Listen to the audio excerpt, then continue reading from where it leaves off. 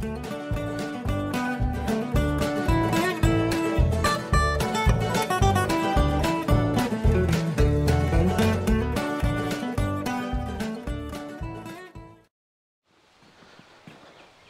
everybody, welcome back. We are working on the 27D a little bit and I wish there was smell-o-vision because I've taken a lot of things apart in my day and I've dealt with a lot of mouse nests and mouse urine and all of that wonderful stuff.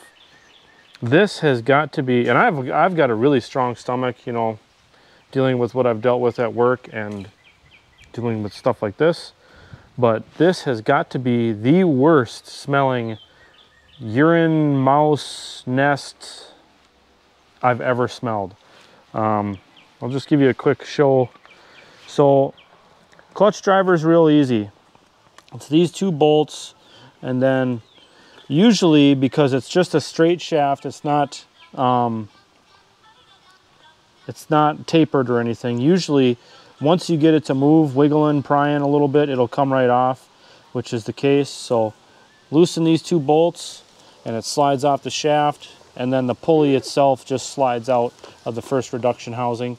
So, but I'll see if you can, you probably won't be able to see in there, but yeah, you can't see. But this thing is packed up to here, halfway with mouse nest and everything else and I can smell it from, I'm two to three feet away from the tractor right now and it's bad.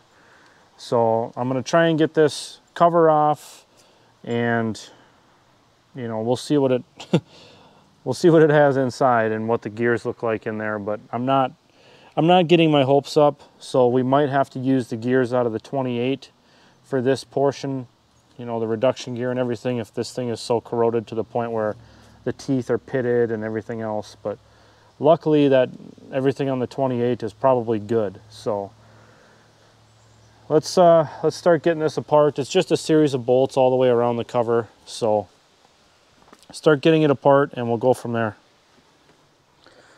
Okay, well, let's see what we got in here.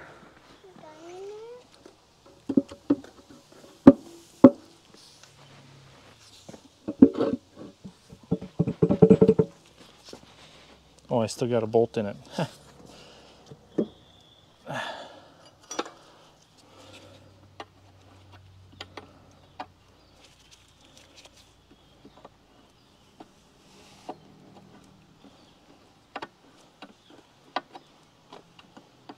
yeah, this thing is, it smells bad. I'm not gonna lie. It's, it's not great.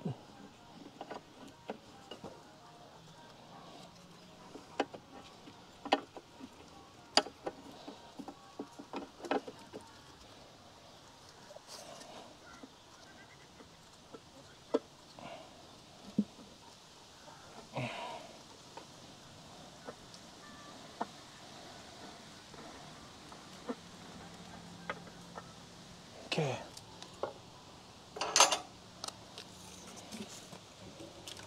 Oh man. Yeah. That's uh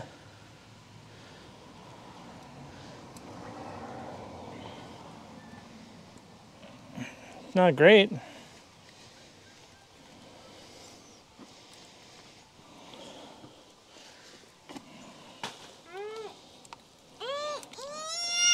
Oh, I'm sorry. Pick them up. It's okay.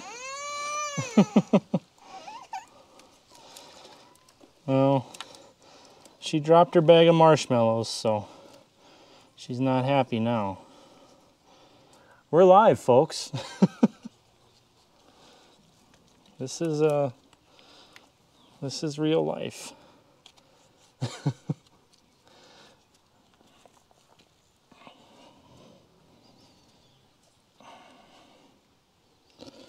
Okay, well, this is terrible smelling. Hoofda. I'm going to take these gloves off and pick up her marshmallows and get the dad mode back on track here.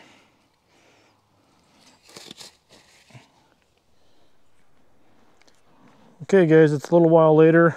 Got that cover off. I've put the puller on the first reduction gear, but I can't get that thing to move. I think I need a bigger puller.